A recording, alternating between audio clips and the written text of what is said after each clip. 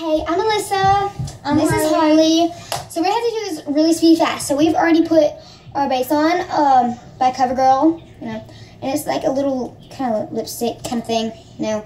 Uh, and then we took this color tattoo. It's white, and I mixed a little bit of blue in the whole thing. Yeah. And we put some art already on her face.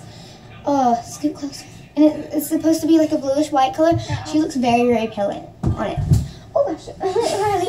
Okay, um, so now we're gonna take a brush. Hold up.